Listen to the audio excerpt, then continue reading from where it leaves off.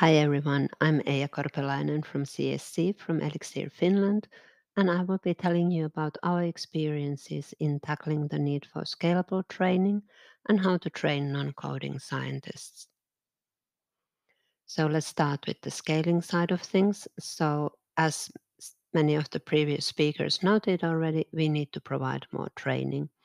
So, we either need to provide more courses, which means that we need more trainers, or we need to provide, courses for bigger audiences, which might require things like e learning systems.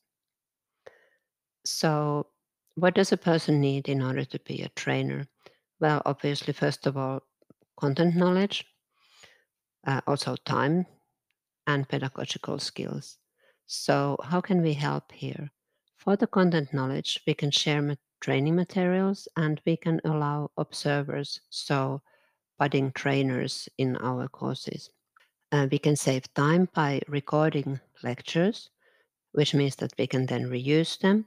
And we can also run the courses uh, in shorter time because the participants can actually watch the lectures prior to the course. We can also share time, uh, sorry, save time by sharing training materials and using computing environments that are easy to set up. For the pedagogical skills, there are several efforts. For example, the carpentries provide instructor training, and also Elixir and GOBLET provide train the trainer courses. The next one will be in May. So now let's talk about recording lectures. So this has several benefits. So you as a trainer uh, can reuse the video. You can also have more informed participants in your courses if they listen to your stuff beforehand.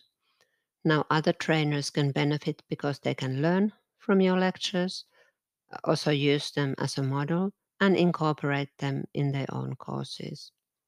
And finally, the participants can get more out of a course if they can digest the theory in small doses beforehand by watching the video, and they can also use the videos for self study. So, we have been doing this for quite a while and learning things the hard way. So, I would like to give a couple of tips. So, first of all, it's a good idea to record in short sections because then it's easier to update. So, rather than recording a one hour lecture, do like shorter topical sections, which are then easy to replace when something changes in the analysis pipeline. And also, I would say that done is better than perfect here because this field moves so fast. So here you can see just an example. So this is our single cell RNA-seq data analysis course. And as you can see, the lectures are per topic. The videos are quite short.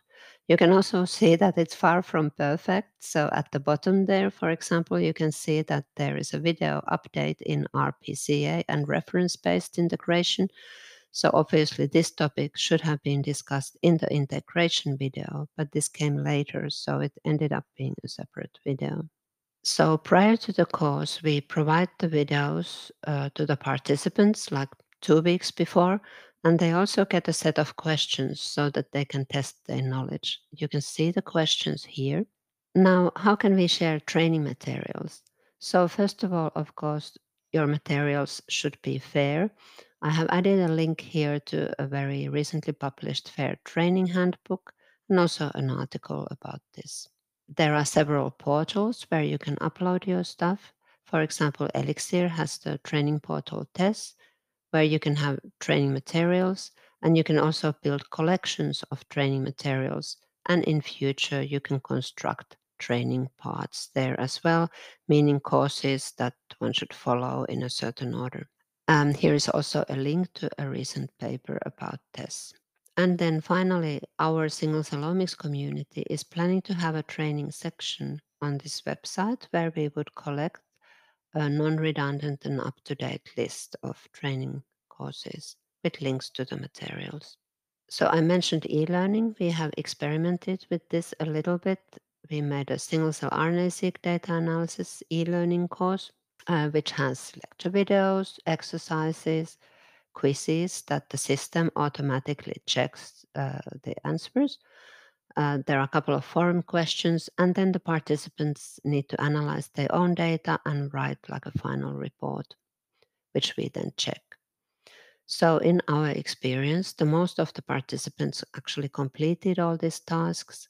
We also got good feedback, but still we see that people prefer to come to, so to say, real courses rather than do the e learning one because they want to discuss with the trainer.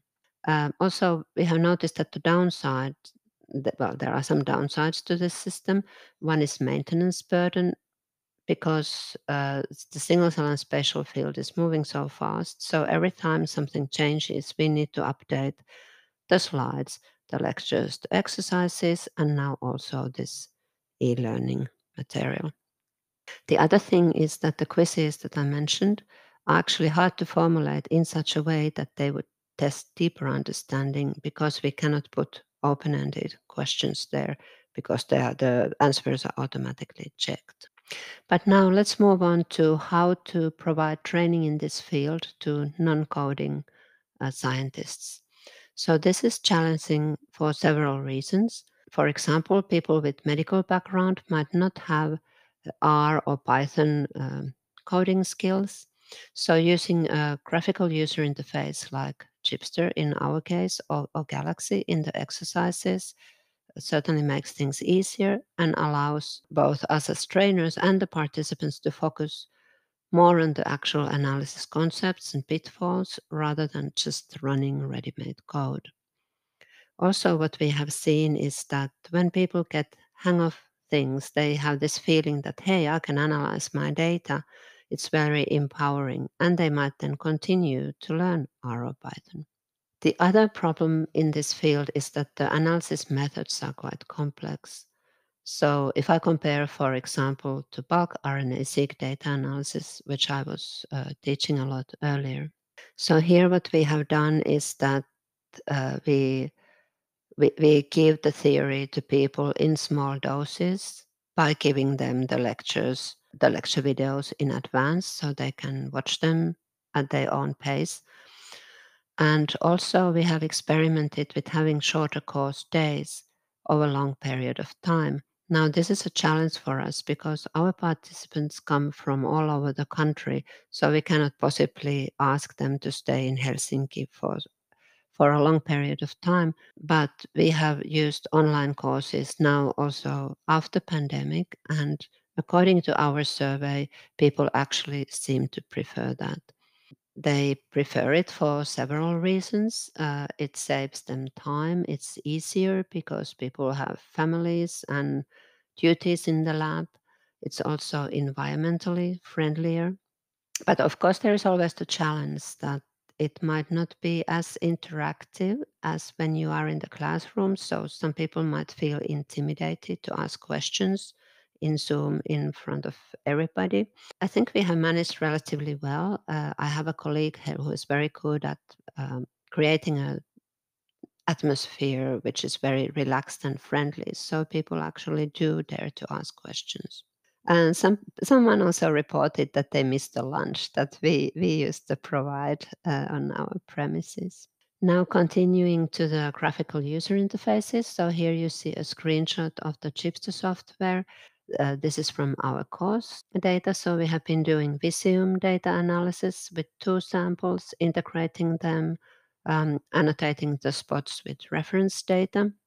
On the right, uh, you can see the analysis tools that are available. So in our course, we do pretty much the same things as, for example, Paolo does in his R and Python based course. We have got quite good feedback for this, um, also from people who actually know R. So they feel that when they learn things using Chipster, in this case, uh, they can concentrate more on the actual uh, analysis methods, so to understand what these different steps mean and what the different parameters mean, and so forth. Now, to finish with, I would like to acknowledge, uh, first of all, people in my team who have been providing training and developing Chipster. Then we have been collaborating with people at the Finnish Institute of Molecular Medicine and University of Helsinki and, and I would like to acknowledge Paolo and Åsa from NBIS, Sweden, and Ahmed from the Leiden University Medical Center for our course collaboration.